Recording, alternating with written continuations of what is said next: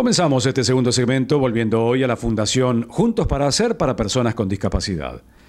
En su centro de día Sentires, el equipo interdisciplinario desarrolla distintas estrategias para que los concurrentes puedan adquirir conocimientos de forma amena y amigable, donde los juegos y la actividad física estimulan áreas cognitivas. Hoy quiero hablarles sobre la discapacidad en educación física, sobre cómo, cómo se trabaja, cómo lo abordamos eh, en este lugar. Eh, siempre hacemos foco en el, cuerpo, en el movimiento, pero desde un plano totalmente lúdico, desde un plano jugado, desde su, respeto hacia los compañeros, hacia, hacia el referente.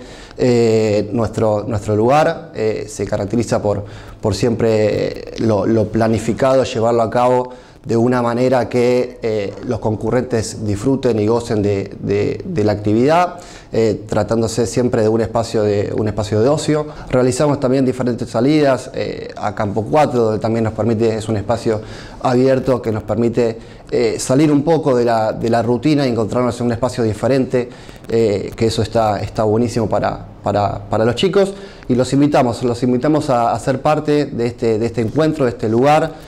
Eh, de, esta, de esta gran familia, esta gran familia que es, que es Sentires.